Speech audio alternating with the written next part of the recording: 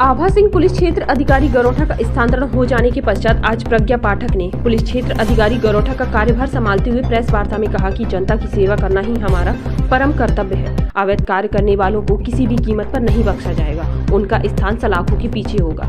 थाना दिवस तथा तहसील दिवस में आई शिकायतों का निस्तारण करना एवं आमजन को सही दिशा में निर्देशित करना उनकी समस्या को जल्द से जल्द समाधान करने की हमारी पूरा प्रयास रहेगा। अगर किसी को समस्याओं का समाधान थाना स्तर पर नहीं हो पा रहा है तो वह हमारे पास आकर अपनी समस्या बता सकता है।